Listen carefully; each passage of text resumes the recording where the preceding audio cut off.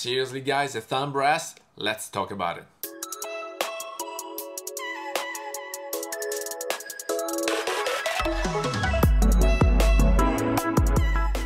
Hello everybody, welcome back to the channel, Thomas Love here from beautiful Vancouver, British Columbia and today I'd like to share with you a few hints about how to take the best out of your Leica Q2 camera because it comes quite naked I have to say out of the box. And there are a few aspects that can be improved with just small money. You don't need big and expensive accessories but let's see together we will tackle them one by one so you know what to expect and how to improve the handling of this beautiful camera. To avoid to transform it, it into a camping car because it has to be very portable, lightweight, you have to keep it as an EDC, you don't want to make it bigger and bulkier and heavier. So if you're ready, let's go rolling. So alright, here it comes the camera as it is out from the box, from the factory. The only thing that I didn't change is the strap because it's too much work, so I didn't put the original back. And I got this artisan and artist because it's textile so I found an offer and I just needed a smooth one so I have the chance to preserve and to keep away the original and now with the strap I wanted a textile one because most of the times I just wrap it around my wrist and so it's safer to use it like that. I can hold it and it's safe so in case I drop it it would not fall down. While with the leather one it was too long and too bent and so this is the only thing that I'm not showing you. But from, from that let's move forward and the original lid only can be mounted on the lens hood which is very narrow or if you don't want the hood you can use the ring provided by Leica. I'll show you very quickly right now.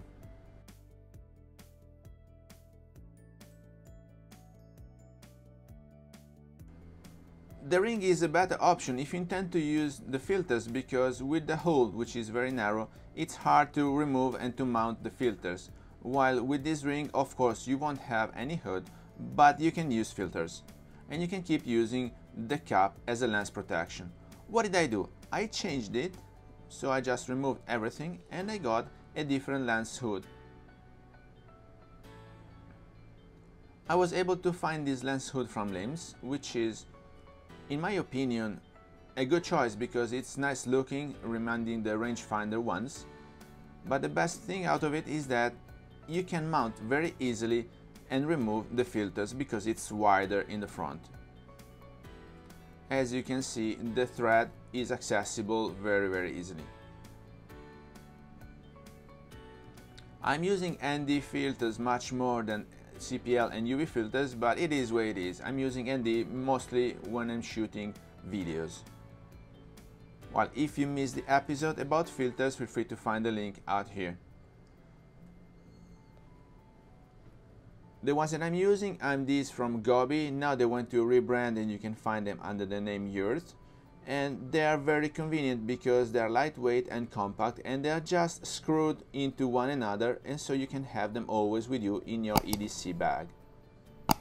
As simple as that, you just you just screw them away, the one that you intend to use, and then you put it in front of your camera. As you can see, it's very easy to mount them with this lens hood that I am using. The other one was too narrow in the front to make it accessible. And then, what about the top of the camera? Since this is very sleek and I have big hands, I needed some way to hold it properly. And so, first thing that I found was this thumb rest from JJC. This one from the camera is not deep enough for me. There are valid alternatives, so I got this one from JJC it doesn't have to be the original from Leica because it's very, very expensive. And I find that JJC provides a very good alternative. Quick and cheap, you just mount it into the hot shoe and it will help you have a steadier grip on the camera.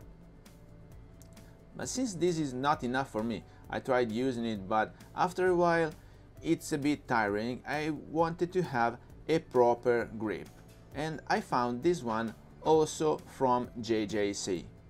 Most important thing, and this is why I chose it, is that you have the openings to uh, have accessible both the SD cards and the battery. So once you mount it, you don't want to take it in and out anytime you need to charge the battery or remove the SD card, right? So we do it together, it's just a very easy one screw thing and then you secure it to the camera. Once it's mounted, as you can see, it's a totally different grip, so you can keep it in your hand all day long and it doesn't get you tired at all. It's very convenient.